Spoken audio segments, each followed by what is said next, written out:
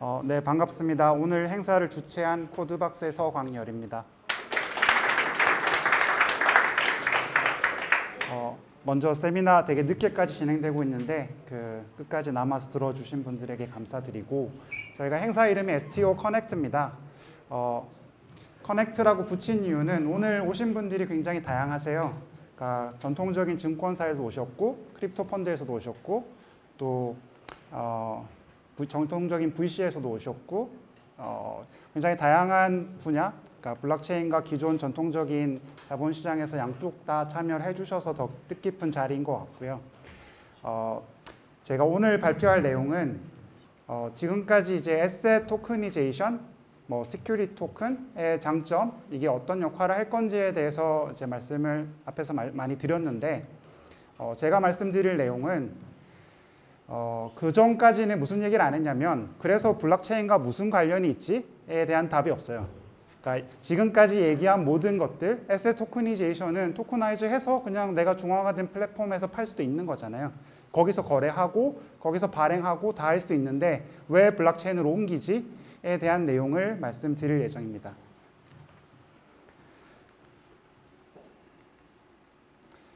일단 security token ecosystem은 어, 가장 핵심은 굉장히 diverse해요. 이게 나라별로도 다를 수밖에 없고 어, 각 나라에서도 SS 클래스별로 이게 뭐 부동산이냐 artwork이냐 아니면 전통, 전통적인 주식이냐에 따라서도 다 다르게 작성될 수밖에 없다는 전제를 가지고 말씀드리겠습니다. 일단 어, 그 ecosystem에서 이제 issuance 플랫폼이라는 얘기를 하는데 발행을 도와주는 플랫폼이에요. 그러니까 내가 어떤 asset을 가지고 증권을 발행하겠다, security token을 발행하겠다고 했을 때 그거를 어, 법률적인 부분 그리고 어, 기술적인 부분 다 도와줘서 어쨌든 성공적으로 어, security token을 발행하고 투자자들한테 투자금을 받을 수 있게 만들어 주는 역할을 하는 게 어, security 토큰 issuance 플랫폼이라고 부르고요. 지금 이제 몇 가지 어, 플랫폼들이 나와 있어서 각각의 기술적인 장단점을 살펴보도록 하겠습니다.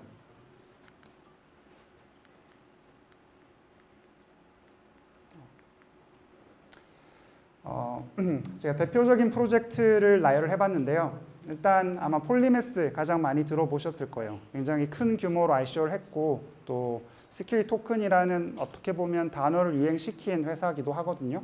마케팅에 굉장히 많은 돈을 쓰고 있어서 어, 아마 지금 Poly를 소유하고 계신 분도 계실 텐데 뭐 Polymath가 일단 대표적으로 가장 먼저 나온 security 토큰 issuance 하는 플랫폼이고요. 그 이후에 이제 나온 것들이 뭐 하버에서 만든 R 토큰 그리고 Securitize에서 만든 DS 프로토콜 어, 그리고 저희 저희 CodeChain 에서 security 토큰 플랫폼을 준비를 했습니다. 그래서 저희 기술도 같이 소개를 드리도록 하겠습니다. 어, 일단 시작을 하기 전에 플랫폼과 프로토콜을 구분해서 설명을 드릴 건데요. 일단 security 토큰을 발행하고 거래할 수 있는 플랫폼은 다양하게 있죠. 아까 말씀드렸던 뭐 Polymath나 Harbor나 뭐 CodeChain이나 이런 것들이 플랫폼들인 거고 어, 이 플랫폼과 별개로 프로토콜에 대한 얘기를 해요. 프로토콜은 뭐냐면 뭐 프로그래밍 하시는 분 입장에서는 일종의 인터페이스인 건데 이런 규약을 맞추면 어, 서로 거래를 할 수 있게 해주겠어라는 거거든요. 그러니까 실제로 어, 이 security 토큰을 어떻게 작성하느냐, 뭐 smart contract의 내용은 다 다를 수 있지만 어, 그거를 어떤 특정한 프로토콜에 맞춰서 짜면 그 프로토콜을 지원하는 여러 거래소에서 거래를 할 수 있게 해주겠다라는 게 이제 프로토콜이 정의하는 바고요. 사실은 지금은 프로토콜도 경쟁하고 있어요. 그러니까 앞- 앞서 슬라이드에서 그 폴리메스는 ST20이라는 프로토콜을 제안을 했고 뭐 하버는 알토큰이라는 프로토콜을 제안했고 이런 식으로 각각의 플랫폼이 각각의 프로토콜을 제안하고 있어요. 그래서 어, 프로토콜도 여러 개가 경쟁하고 있는 상황이다라는 거고요. 이렇게 프로토콜이 있으면 어떤 장점이 생기냐면 가장 큰 장점은 interoperability예요. 뭐냐면 security 토큰을 거래할 수 있는 ATS들 혹은 exchange들이 여러 개가 있는데 이 여러 개 동시에 상장할 수 있어요. 그러니까 이게 기존 증권사 입장에서 굉장히 신기한 일일 수 있는데 어, 예를 들면 내가 뭐 코스닥에 상장을 하든 아니면 거래소에 상장을 하든 둘 중 하나를 골라서 상장을 하는 거지 우리 증권은 양쪽에 다 상장돼 있으니까 아무 데서나 사세요? 라고 얘기할 수가 없거든요. 왜냐하면 compliance가 거래소 레벨에 있기 때문이에요 그러니까 이 증권은 어떻게 거래할 수 있고 누가 살 수 있고 이런 룰들이 그 거래소가 어쨌든 이, 이 토큰을 상장시켜 놓고 혹은 증권을 상장시켜 놓고 enforce를 하고 있기 때문에 이게 여러 거래소에 가는 순간 꼬이기 시작하거든요. 증권이 중복해서 거래될 수도 있고 예를 들면 여기에 물량은 있는데 저쪽 거래소는 물- 물량이 없다든지 이런 이슈도 생길 수 있잖아요. 근데 어, 이런 프로토콜을 맞추고 이 프로토콜을 준수하도록 security 토큰을 발행하면 그 프로토콜을 지원하는 모든 거래소에서 동시에 상장이 되고 동시에 거래가 가능해지는 거죠. 그래서 프로토콜을 잡는 게 굉장히 중요해졌고 많은 security 토큰 issuance 플랫폼들이 프로토콜을 내 거를 어쨌든 관철시키고 그거를 다양한 거래소가 지원하게 만들어서 좀 주도권을 어, 가져가려고 하고 있습니다. 그래서 지금 각각의 플랫폼들이 전부 자신만의 프로토콜을 내놓은 상태예요. 그러면 이 프로토콜이 뭘 하느냐? 이제 각각의 프로토콜이 할 수 있는 뭐 capability는 다 조금씩 다른데 어, 핵심적인 내용은 비슷해요. 그래서 그거를 좀 요약해서 정리해 보면 일단은 compliance를 security 토큰이 강제한다. 이게 굉장히 큰 차이점이거든요. 그러니까 토큰 자체에 룰이 있는 거예요. 그 거래소가 룰을 enforce를 하는 게 아니고 그리고 어, 지금 발행돼 있는 토큰들은 대부분 이더리움 기반이에요. 그리고 E ERC20이라는 사실은 우리가 cryptocurrency, 그러니까 이, 그 이더리움 기반의 토큰들 되게 많잖아요. 걔네들의 표준과 같은 인터페이스를 공유하고 있어요. 바꿔 얘기하면 이더리움 지갑에 넣을 수 있는 형태도 가능한 거죠. 근데 사실은 요구 사항이 더 복잡하기 때문에 그렇게 단순하게 호환되진 않아요. 케이스를 하나 가지고 얘기를 하면 설명이 좀 쉬워서 어, 아까 Regulation D 미국 이제 SEC에서 얘기하는 Regulation D 아, Regulation D의 506C 기준으로 발행을 security 토큰을 발행을 하면 증권이죠. 이 증권을 발행했을 때 제약 조건이 붙는데 예를 들면 어, accredited investor를 99명까지만 이 토큰 hold할 수 있고 그게 넘어가면 사실 regulation 위반하게 돼요.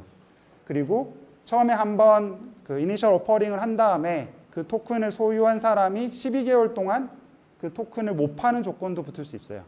그러면 이런 조건들을 어, 어떻게 그 compliance를 강제할 거냐라는 게 이 security 토큰에서는 기술적으로는 무슨 차이가 있냐면 이 조건을 토큰 자체가 강제해 줘요. 그러니까 내가 지금 현재 99명의 토큰 holder가 있는 상태인데 내가 토큰을 10개를 들고 있어요. 근데 다섯 개를 다른 사람한테 보내려고 하는 순간 그, 그 transfer는 reject돼요. 그거는 토큰 레벨에서 허락하지 않는 거거든요. 그렇기 때문에 이 regulation을 깰 수가 없어요. 이 security 토큰 자체가 이 regulation을 강제해주고 그, 그 regulation을 위반하는 어떤 액션에 대해서는 어, 리젝을 해주는 방식으로 동작을 하고요.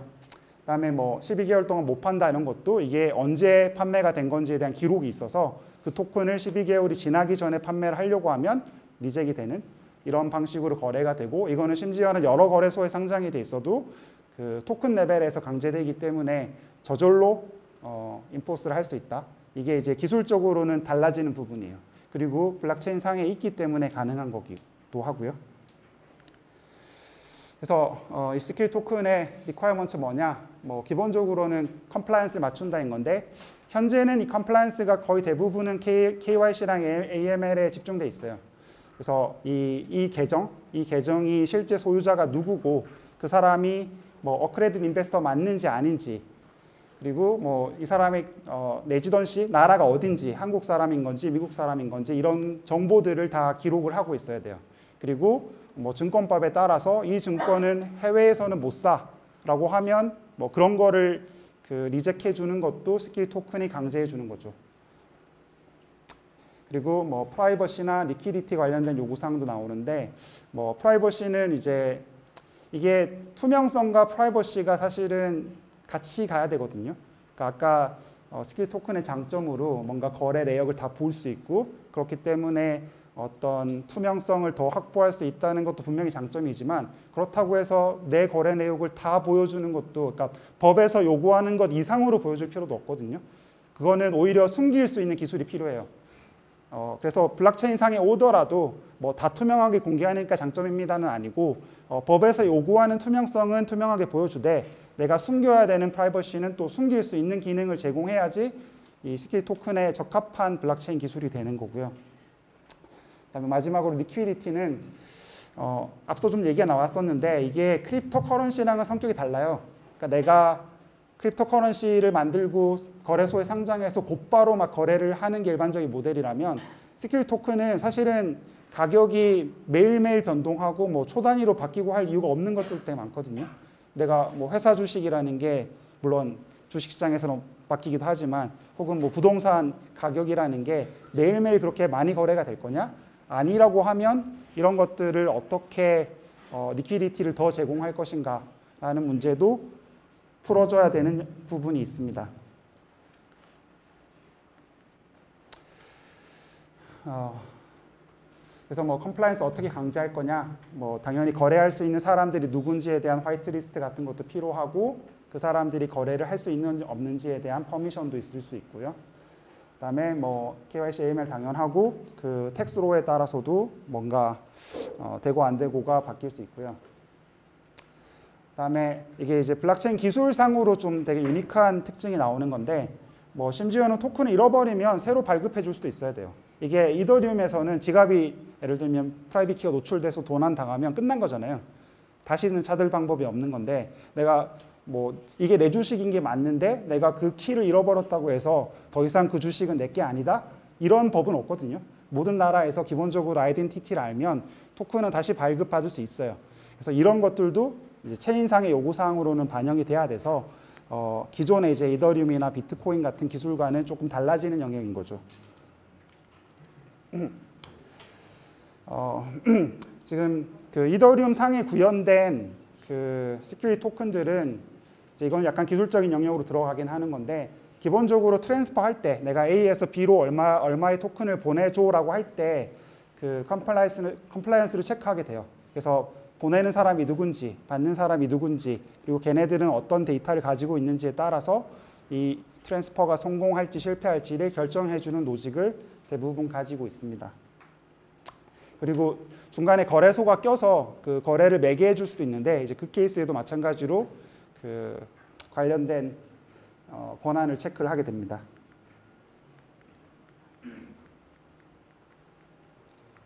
음, 그래서 각각을 조금씩 더 살펴볼 건데 일단 폴리메스 먼저 보겠습니다. 가장 가장 먼저 나온 기술이기 때문에 사실은 가장 내용이 없습니다. 어, 어, 얘네들은 그 일종의 플랫폼을 얘기를 하는데 기본적으로 세 개의 component로 이루어져 있어요. 일단은 제일 중요한 거는 KYC. 그러니까 이, 이 계정은 누구냐, 뭐 한국 사람이냐, accredited investor냐 이런 것들을 체크해 주는 게 필요한데 이 체크라는 거는 나라별로 다를 수밖에 없잖아요. 예를 들면 여기 문영훈 대표님이 accredited investor인지 아닌지를 제가 어떻게 알아요? 제 플랫폼 입장에서는 모르는 거잖아요. 그러면 서드 파티로 이 KYC를 제공해주는 회사들이 있어서 이 회사들 중에 하나를 contact해서 KYC를 프로세스를 하시면 그러면 이제 그 KYC에 대한 정보가 등록이 되고 그 정보를 이용해서 그 아까 말씀드린 compliance를 체크를 하게 되는 거거든요. 그래서 서드 파티로 KYC provider들이 잔뜩 있어요. 이 플랫폼에는 이론적으로는 그리고 그 security 토큰을 발행한다고 했을 때도 마찬가지인데 이 발행을 할 때 법적인 이슈들이 생각보다 복잡할 거예요.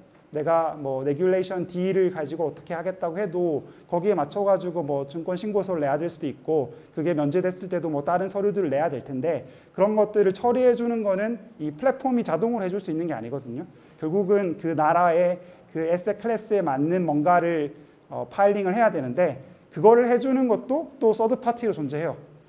바꿔 얘기하면 이 플랫폼에는 그냥 그 디폴트로 있는 게 아무것도 없는 거죠. 그래서 이, 이 서드 파티를 골라야 되는 게 또 있고 그다음에 마지막으로 그럼 이런 룰에 따라 가지고 아까 말씀드린 그 security 토큰이라는 거를 아이고 네 구현을 해야 되는데 그 구현이라는 것도 구현된 게 없어요. 그냥 프로토콜만 아까 말씀드린 그 인터페이스만 존재하고 그 안에 실제로 그 종류에 맞춰 가지고 구현을 해야 되는데 그 구현이라는 거는 또 smart contract 개발자가 서드 파티로 있어요. 그래서 그 중에 한 명한테 contact해서 개발도 해야 된다. 그래서 바꿔 얘기하면 어, 이 Polymath 플랫폼을 왜 써야 되지에 대해서 의문이 생길 수 있죠. 왜냐하면 이거 세 개를 다 구했으면 나 혼자 발행할 수도 있거든요. 그래서 아까 어, 얘기했던 participant 3, 4, 5번이 서드 파티로 존재하고 내가 이슈오면 이 3, 4, 5번을 다 컨택해서 그 프로세스를 진행하고 어, 인베스터의 경우에는 KYC 프로바이더를 컨택해서 나를 나를 어쨌든 KYC를 하고 그걸 가지고 그 토큰 거래에 참여를 할 수 있습니다.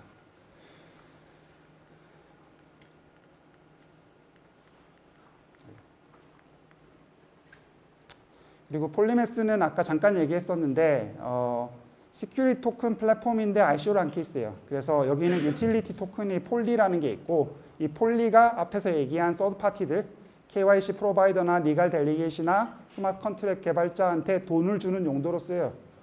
물론 어, 그 pegged된 코인이나 이런 건 stable coin이 아니기 때문에 이 가격 자체는 변동성이 있고 뭐이 어, Polymath 플랫폼을 많이 쓰면 가격이 오를 거야라고 해서 ICO 투자를 받았긴 했는데 뭐 아직까지는 여기서 발행한 사례가 없어요. 그래서 이런 컨셉은 이해하시면 좋고 이후에 이제 나온 것들은 얘를 보완해서 기능을 더 제공하기 시작합니다.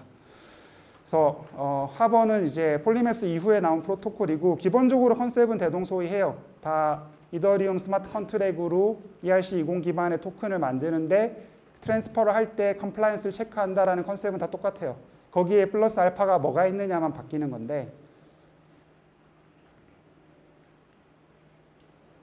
음, 여기도 어, R 토큰이 있고 그다음에 regulator service라는 게 compliance를 체크해주는 logic이고요.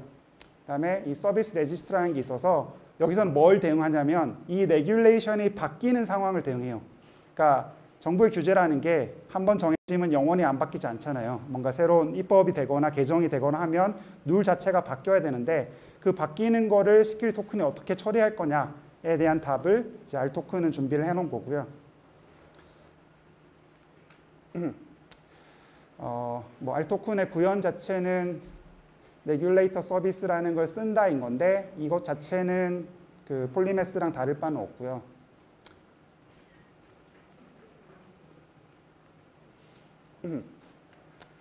여기 보시면 밥이 앨리스한테 20 토큰을 보내려고 할 때 R token 쪽에 물어보면 얘가 regulator service에 어, 이, 이 토큰 거래는 가능하냐라고 물어본 다음에 어, 뭐 compliance에 문제가 없으면 거래를 허락, 허락 해주고 문제가 있으면 reject을 하는 구조로 돼 있어요.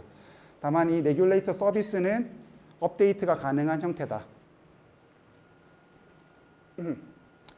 그래서 뭐 regulator service의 인터페이스는 이렇게 생겼는데 보내는 사람 누구고 받는 사람 누구고 얼마를 보낼 건데 뭘 보낼 건데 가능한지 물어본 갖고 인터페이스예요. 그리고 뭐 이 regulator service가 조금 더 깊게 들어가면 그 그러니까 two participant level permission이라고 한 게 받는 사람에 대한 거, 보내는 사람에 대한 거 별도로 체크한다는 거고요. flexibility 때문에. 그리고 이 룰에 대해서는 그 trade controller라는 off-chain에 뭔가가 있어요. 그러니까 이게 블록체인 기술로 보면 사실은 굉장히 하이브리드된 형태인데 그 토큰 자체는 블록체인 상에 존재하고 걔를 compliance를 체크하는 것도 on-chain에 있기는 한데 그 on-chain의 룰이 다 off-chain에서 와요. 그리고 이 off-chain의 그 권한을 가지고 있는 사람이 사실상 룰을 언제든지 바꿀 수 있어요. 그러니까 이게 어 그런 블록체인에서 얘기하는 decentralization과 그 centralization의 중간 영역에 있는 거거든요. 그러니까 이더리움처럼 한 번 발행했고 너가 ownership을 가졌으면 그거는 누구도 못 뺏어가라는 컨셉이 아니고 어쨌든 발행하는 주체가 이 regulation을 통제해야 되기 때문에 관련된 업데이트는 얼마든지 할 수 있고 또 필요하면 토큰을 분실했어. 그러면 이 계정은 버리고 새로운 계정에다가 다시 토큰을 issue해 준다든지 이런 것들도 가능해요. 다만 블록체인으로 갔을 때 장점은 아까 말씀드렸던 것처럼 뭐 어쨌든 체인상으로 24시간 뭐 항상 있는 거기 때문에 여러 거래소에서 그 체인에 접근해서 토큰을 거래할 수 있고 어, 관련해서 그 compliance 룰도 강제할 수 있다. 그리고 그 블록체인에는 어쨌든 이뮤터블한 넷저에 한 번 쓰면 못 바꿔요. 그러니까 이 내용 자체는 어쨌든 히스토리가 계속 투명하게 남아 있다. 이런 것들은 이제 체인이 주는 장점을 가지고 있고 그런 분산화 됐을 때 주는 장점이라는 건 일정 부분 희석된다. 왜냐하면 어쨌든 compliance 맞춰야 되니까. 이 service registry 구조는 아까 말씀드렸던 이 regulation service를 업데이트하기 위한 구조고요.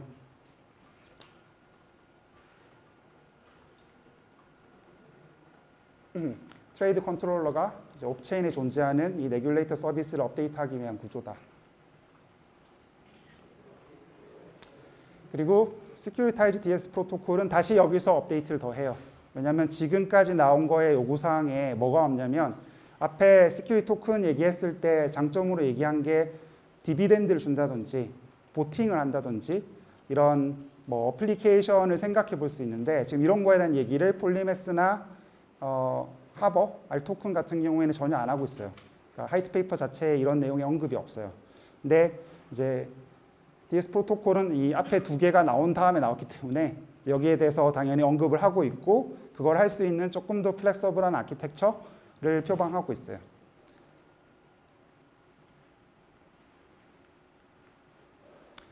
그래서 여기는 뭐 중요한 participant가 이제 여기는 exchange security token 그러니까 결국은 거래소인데 거래소를 굉장히 중요한 participant로 보고 있고 여기에 대한 뭐 추가적인 API들이 더 존재해요. 왜냐하면 이 거래소 입장에서는 investor라는 게 새로 추가 new investor가 생기는 건데 이 new investor가 KYC가 돼야 되거든요. 이 KYC를 그러면 거래소도 할 수 있어야 되고 어, 토큰 issuance한 뭐 주체 issuer도 할 수 있어야 되는데 이 권한을 어떻게 양쪽에 나눠 가질 건가에 문제가 생겨요. 이런 부분들을 이제 권한을 준다든지 하는 쪽으로 해서 그런 내가 신뢰하는 거래소한테는 KYC를 직접 할 수 있는 권한 같은 걸 준다든지 이런 게 가능한 약간 더 flexible한 아키텍처로 돼 있어요.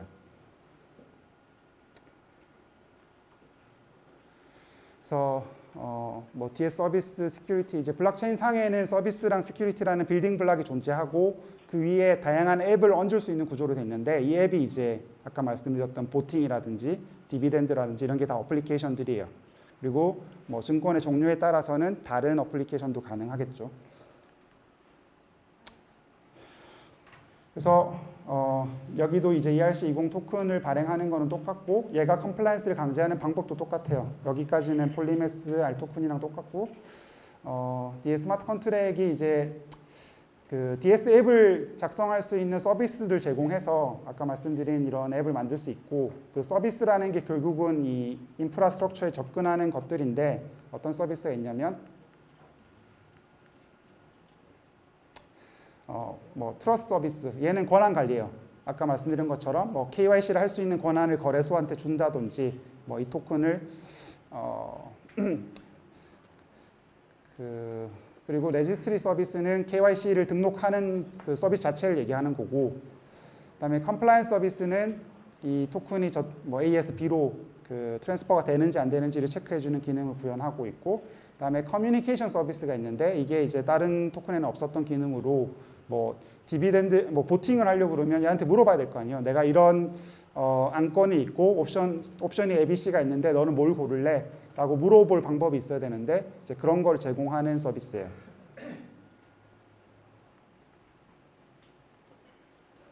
그래서 앞에서 얘기한 거를 좀 도식화해 보면 이렇게 되고요.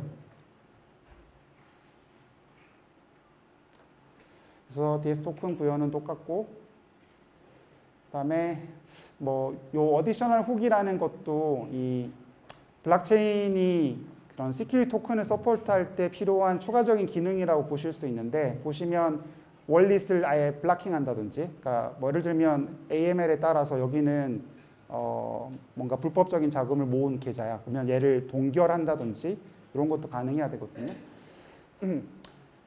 그리고 어 뭐 dividend issuance 하는 기능 같은 것도 필요하다고 얘기를 하고 있고 그래서 뭐 페이백 가본 가버넌스 이런 게 아까 말씀드린 내용이고 어, 그러니까 지금 딱 요 정도예요. 그러니까 기술이라는 게 생각보다 별로 develop은 안 돼 있어요. 그냥 토큰을 만들고 그 토큰에서 필요한 기본적인 앱을 만들 수 있는 수준 정도가 지금 표준화돼 있는 내용이고 이거 기반으로 이제 STO를 지금 한 사례들이 나오고 있는 거고요. 어, 뭐 예를 들면 지금 뭐 이런 security 토큰 기반으로 예를 들면 이거를 담보로 해서 뭐 debt를 발행한다든지 아니면 파생 상품을 만든다든지 이런 어, 그 조합들, 그러니까 금융 상품들 우리가 만드는 조합들이 있을 수 있는데 이런 것들을 할 수 있는 프로그래밍 모델이 있다든지 이런 건 아직은 제한된 게 거의 없어요. 그래서 어, 관련해서는 사실은 해볼 수 있는 것들이 되게 많은 상태고 이제 저희는 그 코드체인이라는 블록체인 엔진을 만들고 있는 회사고 코드체인 기반으로 security 토큰을 발행할 수 있는 플랫폼을 만들고 있습니다. 그리고 저희는 이더리움 기반이 아니에요. 저희는 그 코드체인이라는 엔진을 다 만들어서 그 위에 security 토큰 플랫폼을 올리고 있는데 그러면 어, 대부분 이더리움 기반으로 하고 있는데 어, 새로운 블록체인 엔진이 필요한가? security 토큰 전용으로 에 대한 질문을 해볼 수가 있죠. 저희는 yes라고 생각하고 그 이유를 설명드리려고 해요. 일단 어, scalability가 생각보다 문제가 될 거다가 첫 번째 문제의식인데 뭐냐면 어, 지금 비트코인이나 이더리움의 초당 거래량이라는 굉장히 제한되어 있다는 건 다들 알고 계시잖아요. 뭐 초당 10개, 뭐 많아야 20개. 근데 그렇게 제한된 transaction 처리량을 가지고 있는데 도대체 전 세계에서 일어나는 그 수많은 거래소의 비트코인, 이더리움 거래를 어떻게 처리하고 있지? 질문할 수밖에 없고 어, 처리 가능한 이유는 대부분 on-chain 안 쓰기 때문이에요. 내가 뭐 예를 들면 코인원 어, 거래소가 있는데 거래소에서 비트코인 주고받는다고 해서 비트코인 transaction이 생기는 게 아니거든요. 그냥 코인원 ledger에 쓰고 거기서 처리하는 거지. 그 코인원 바깥으로 뭔가 송금이 일어날 때만 on-chain에 써서 거래를 하는 방식이에요. 그렇기 때문에 transaction이 생각보다 굉장히 적어도 동작하는데 아무 문제가 없어요. 근데 security 토큰은 달라요. 뭐가 문제가 되냐면 아까 말씀드린 것처럼 그 compliance를 강제하는 룰이 토큰 내에 존재하거든요. 바꿔 얘기하면 거래소가 그 자기 ledger에다가 이 토큰을 기록하기 시작하면 더 이상 뭐 아까 얘기한 99명의 accredited investor만 가능하다는 룰 자체를 알 수가 없게 돼요. 이쪽 거래소에 100명이 있고 저쪽 100, 아, 뭐 이쪽 거래소 50명이 있고 저쪽 거래소 50명이 있는데 각각은 계좌로 봤을 때는 하나의 계좌처럼 보이면 그러면 사실은 account 두 개밖에 없는 것처럼 생각할 수 있잖아요. 이런 룰을 강제하려면 중앙화된 거래소 내에서 토큰을 거래하더라도 반드시 뭐 smart contract에 transaction을 써줘야 되는 상황이거든요. 그렇기 때문에 security token은 거래할 때 그 블록체인 상의 부담이 더 많이 갈 수밖에 없는 구조예요. 어, 그래서 뭐 작년에 이제 크립토 키티 같은 거 유행했을 때 이더리움 망이 마비됐는데 그런 security token 하나 그 성공해가지고 거래량이 막 초당 100개씩, 1000개씩 나오면 이더리움 망은 바로 마비돼요. 그래서 이 부분은 지금 scalability 이슈가 있다라는 거를 말씀드리고 그다음에 뭐 아까 프라이버시 이슈도 말씀드렸는데 이 프라이버시 지원이라는 것도 체인상에서 해야 될 필요성이 있을 수 있어요. 아까 말씀드린 것처럼 투명하게 뭐 거래한 내역이 다 보이니까 장점입니다라고 얘기할 수 있지만 법에서 얘기하지 않는 것 이상으로 프라이버, 그 transparency를 제공하는 건 오버거든요. 그거는 프라이버시 침해가 돼요. 뭐 이거를 막을 수 있는 기술, 그러니까 내가 프라이버시를 제공할 수 있는 기술도 체인상의 support가 필요한데 이런 것들이 사실 대부분의 어, public한 블록체인에서는 고려가 안 돼 있어요. 왜냐하면 걔는 투명한 것들을 선호하니까. 뭐 약간 암호학적인 방법으로 이런 거를 처리하는 애가 이제 뭐 모네로라든지 지캐시라든지 이런 게 이제 이런 기술들이 들어가 있는데 이런 기술들을 적절하게 조합해서 security token에 적합한 수준의 프라이버시와 transparency를 제공하는 게 필요하다가 두 번째고요. 그다음에 세 번째는 liquidity인데 여기에 대해서는 오늘 길게는 설명 못 드리지만 블록체인으로 왔을 때 최대 장점은 뭐냐면 programmable한 뭔가 토큰 거래를 제공한다예요. 그러니까 내가 거래하는 당사자가 사람일 수도 있지만 필요하면 내가 내가 발행한 security token에 대해서 일정 부분의 liquidity를 자동으로 제공하는 것도 가능해요. 그 아까 뭐 방코르 프로젝트를 잠깐 얘기했었는데 이제 이더리움 같은 경우에 어, 내가 특정 토큰을 어, 다른 토큰이랑 pegging해서 이 가격 변동에 따라서 자동으로 거래를 하게 할게 같은 게 가능하잖아요. 이런 것들을 security token에도 도입해서 그러니까 기존 증권 시장이 주지 않는 뭐 일종의 programmability 혹은 자동화된 liquidity 같은 걸 제공하는 것도 필요하고 이제 저희는 그 체인상의 프로토콜에 liquidity layer가 있어요. 그래서 그런 부분에 대한 support를 자동으로 한다. 그래서 뭐 저희가 어 제공하는 코체인 STO 플랫폼의 좀 전체 그림인데 어 어쨌든 체인상에서 성능 좋은 뭐 합의 알고리즘으로 빠르게 처리를 하면서 그런 프라이버시 제공하고 on-chain 그 compliance 할 수 있게 기능 제공하면서 뭐 liquidity layer나 DEX를 고려하고 있는 구조고요. 뭐 asset class에 따라 사실 되게 다양할 수 있거든요. 아까 뭐 fine art를 거래하는 마켓과 어, 회사 증권을 거래하는 마켓이 같은 마켓일 수는 없잖아요. 이런 것들을 여러 마켓으로 나눠서 발행을 하되 밑에 있는 체인은 하나로 공유하는 이런 그림을 그리고 있고 어, 마지막으로 저희 코체인은 지금 STO를 할 수 있는 플랫폼을 준비하고 파트너십을 찾고 있습니다. 그래서 지금 아마 여기 오신 분들 중에서도 그 security token을 발행하는 준비를 하고 계신 분도 계실 텐데 혹은 발행 플랫폼을 준비하고 있는 분도 계실 거예요. 나는 fine art를 할 테야. 아까 뭐 마스터워크처럼 미술품을 사다가 tokenize 해가지고 판다든지 아니면 뭐 부동산 해가지고 tokenize해서 판다든지 저희는 체인을 제공하기 때문에 어, 이런 플랫폼을 제, 그 준비하고 있는 회사들과도 협업을 하려고 그 오픈을 해놓은 상태입니다. 그래서 어, 이 관련 STO 관련된 사업에 관심이 있으신 분은 저희랑 기술 사업적인 협업을 할 수 있으니까 저희한테 연락을 주시면 좋을 것 같습니다.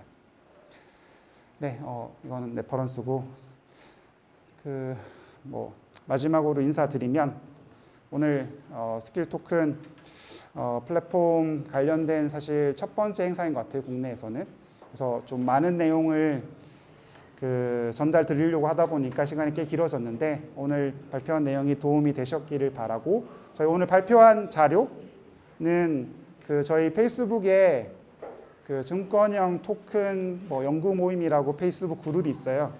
그 그룹에 가입하시면 제가 오늘 발표한 자료들은 다 올려놓을 테니까 거기서 확인하시면 될 것 같습니다. 오늘 참석해 주셔서 감사합니다. 여기서 마치겠습니다.